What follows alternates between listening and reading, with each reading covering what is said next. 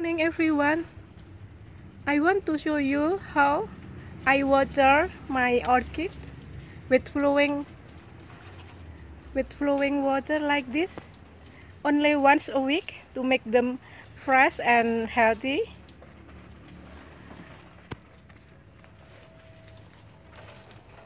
With flowing water.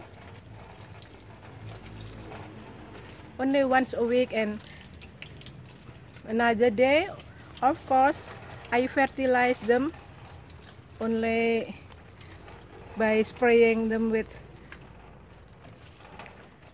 some vitamin. I do this once a week with flowing water like this. They look so happy and healthy